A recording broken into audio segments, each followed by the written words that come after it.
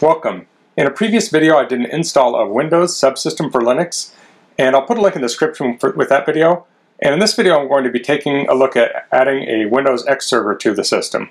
So the Windows Subsystem for Linux is really only command based. It doesn't have like a graphical system. So what you need to do is install what's called an X server.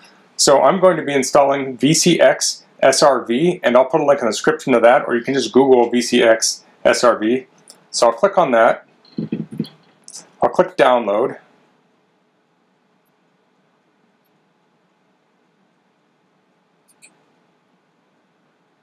And it's currently downloading. I'm going to cancel that because I have already downloaded it. So I'll go into my downloads folder. And here we have the installer. I'll double click on it. I'll click yes. I'll choose everything here but the desktop shortcut. I'll click next.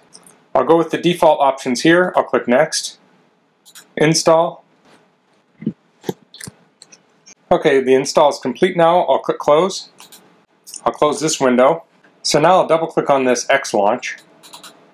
It's asking how we want to display our windows, so I'll leave it at multiple windows and I'll leave the display number to minus one, which automatically chooses a display number. I'll click next. It says select how to start clients. I'll use the default of start no clients. I'll click next. And it talks about clipboard settings, uh, native OpenGL, and disable access control. I'll leave that all the same. I'll click next. It says configuration is complete. Click finish to start.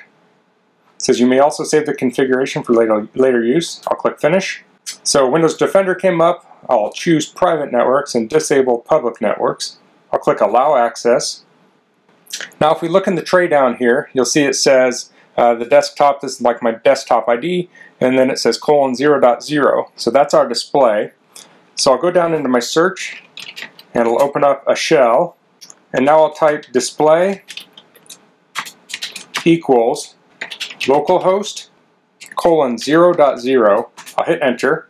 So I can open up an application now, but I need to install some first, so I'll type sudo space apt space install space x11 dash apps.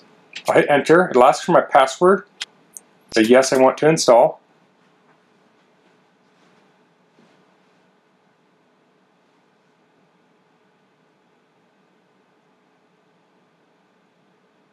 Okay, I'll clear my screen. So now if I type X and then tab, that'll tab complete here and we can see some different uh, software that's been installed. There's X clock, so let me run that. You see it popped up down here below, and here, here we have the X clock. We can enlarge that, move it around. We can run X eyes, and these follow your mouse around. Those are fun. Let's see, I'll clear the screen. I'll look at some others. We have Xcalc. Here's a calculator. And these are just examples. You probably wouldn't use the calculator within this when you can just use the Windows calculator. There's Xedit, so we have like a little editor here. So we have ICO, so that draws shapes. Let's see if we can look at any help on there. Do ICO faces. There we have it with faces.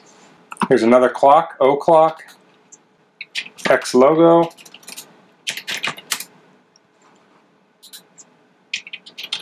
Now that we have the graphic system set up, you could install pretty much any graphic software. You could even install like Firefox or something, but you probably wouldn't want to when you can just run it on Windows.